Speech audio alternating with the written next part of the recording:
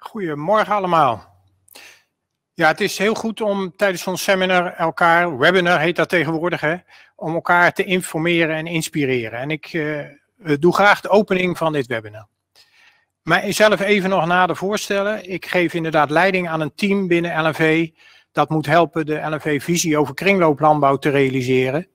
En dat doe ik met heel veel plezier, want uh, dat gaat ergens over.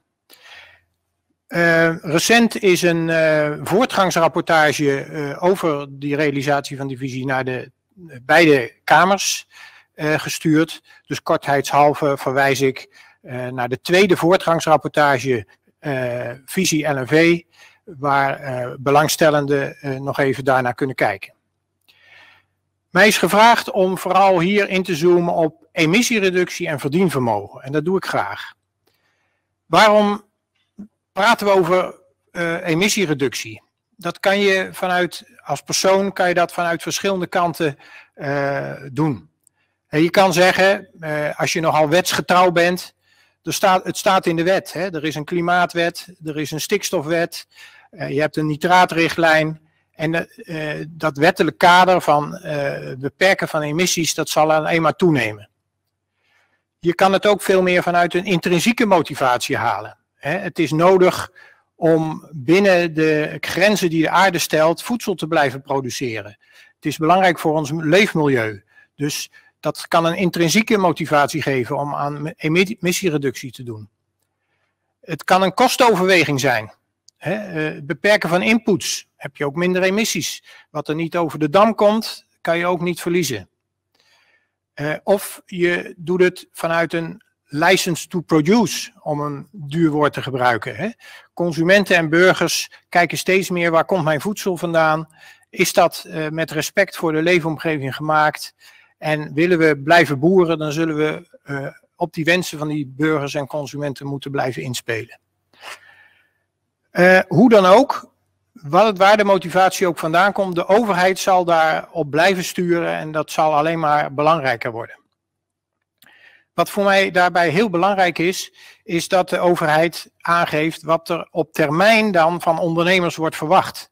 En dat er een beleid wordt gevoerd dat consistent en voorspelbaar is. En dat we elkaar niet ieder jaar weer verrassen. maar langer termijn doelen stellen waar een ondernemer uh, op kan reageren.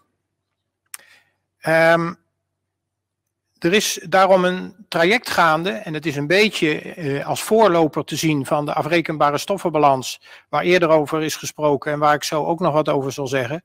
Maar er is een heel traject gaande inmiddels over kritische prestatieindicatoren.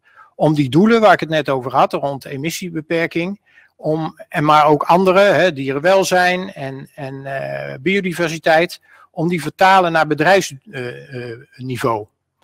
Uh, doelen zodat een ondernemer zelf aan het roer kan blijven. Boer aan het roer is in de voorgaande uh, seminars, webinars uh, voldoende belicht.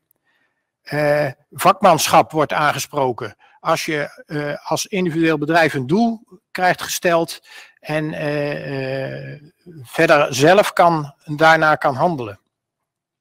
Dus een kritische prestatieindicator indicator, een KPI, is dus een indicator om prestaties te meten uh, met betrekking tot bepaalde doelen, maar geven geen voorschriften daarvoor.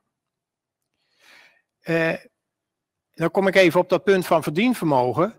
Op het moment dat een uh, ondernemer, een boer, daar op presteert, bovenwettelijk presteert, dan kan publiek en privaat, dus van overheid en vanuit het bedrijfsleven, dat beloond worden. En daar uh, is zowel bij overheid als bij bedrijven, merken wij, is daar uh, gevoel voor om dat ook te doen. Uh, we zijn onder leiding van Wouter de Jong, een externe, zijn we, hebben we een heel traject opgesteld waar overheid, ketenpartijen en ondernemers in de regio die vertaling naar het boerenbedrijf van die doelen maken. Uh, wat ik erg belangrijk daarbij vind, is dat we die doelen niet halen met labmiddelen. Maar dat we echt nadenken over hoe pas ik mijn bedrijfsvoering zo aan dat ik die weet te realiseren. Hoe creëer ik een gezonde bodem? Hoe hou ik mijn planten gezond? Hoe hou ik mijn dieren gezond? Dus een totaalplaatje van bedrijfsvoering uh, uh, om ervoor te zorgen dat we de doelen waar ik het net over had, waaronder emissies, realiseren met een, een, een goed verdienvermogen daaronder. Nou verschilt dat uiteraard sterk per regio. Ik vind zelf uh, de gebieden rond Natura 2000, de zandgebieden, de veenweidegebieden, vind ik nog het spannendst. Daar zal het nadenken over wat voor bedrijfsvoering kan ik hier nu hanteren, het, het ingewikkeldste worden. Maar ook elders in Nederland is dat natuurlijk niet zomaar eenvoudig. En daarom hebben we als overheid ook een omschakelprogramma gemaakt, wat binnenkort van start gaat. Boeren die een bedrijfsplan maken op dit gebied, uh, kunnen financiering krijgen via het Groenfonds om die omschakeling te doormaken. Uh, gaat het nadenken over die kritische prestatieindicatoren, dus vooral over het concreet maken van toekom toekomstbestendige landbouw. En over uh, het creëren van mogelijkheden om boeren die daarop presteren te belonen. De afrekenbare stoffenbalans gaat nog een stap verder. We hebben eh, nu veel te maken met het beoordelen van krijgt een boer een subsidie of niet? Wat voor mest gebruikt hij? Daar zijn heel veel instrumenten, maatregelen, regeltjes, wetten voor. En we willen de omslag maken van dat een afrekenbare stoffenbalans, die de mineralenboekhouding van een bedrijf in beeld brengt, leidend is om die beslissingen te nemen. Maar nu zal iedereen begrijpen dat hoe zwaarder je de maatregelen neemt naar aanleiding van zo'n stoffenbalans, hè, je krijgt een grote subsidie of je hele mest hebben en houden wordt er op beoordeeld, hoe, hoe belangrijker dat wordt, hoe steviger zo'n afrekenbare stoffenbalans moet staan in de zin van uh, transparantie en handhaafbaarheid. En omdat dat niet eenvoudig is, wordt er op het moment vooral verkend uh, hoe zo'n afrekenbare stoffenbalans eruit kan zien. En zal in oktober daar een, een bericht over naar de Kamer gaan. Nou, daarmee heb ik denk ik als opening van dit mooie webinar een aftrap gegeven. Alles gericht op een toekomstbestendige landbouw die met respect voor de omgeving voedsel produceert en daarmee ook een stevig verdienvermogen onder het boerenleven houdt. Dank jullie wel. Ja, ik heb de kans om meteen even te vragen aan uh, Rob. Uh, het gaat natuurlijk uiteindelijk in onze circulaire kringlooplandbouw, staat bovenaan in de laatste realisatienota. Wij moeten zorgen dat we de mineraleconcentraten geaccepteerd krijgen. Kun je al een tipje van de sluier oplichten? Ik heb me laten vertellen dat dat eigenlijk in januari gaat gebeuren. Maar ik weet niet precies hoe, hoe de toestand nu is. Nou, je weet, uh, overigens ik ben het helemaal eens met dat dit de toekomst is. Hè. We hebben veel te veel dierlijke mest en de wijze waarop we kunstmest produceren, dat kan eigenlijk niet meer. Dus uh, we, we, werken al heel lang aan richting Brussel, want die moet daar de goedkeuring voor geven om toestemming te krijgen om kunstmest uit, kunstmest uit dierlijke mest, want dat, zo kan je het noemen, te gebruiken. Ik kan niet zeggen van we, ze zijn er in januari uit. Dat zou ik graag willen. Maar er zijn inderdaad wel de laatste maanden hele goede berichten gekomen dat ze, uh, en dat komt ook door de pilots die we in Nederland uh, hebben kunnen doen op dit gebied, waarbij we duidelijk, waar, waar, duidelijk is gemaakt dat ook Brussel de noodzaak om goedkeuring te geven om deze dierlijke producten te gebruiken, dat dat, dat, dat verder gaat. Dus januari durf ik niet te beloven. Deze minister heeft er ongelooflijk aan getrokken om uh, besluitvorming gedaan te krijgen. En welke minister er ook komt als opvolger van haar, uh, die zal dat ook blijven doen.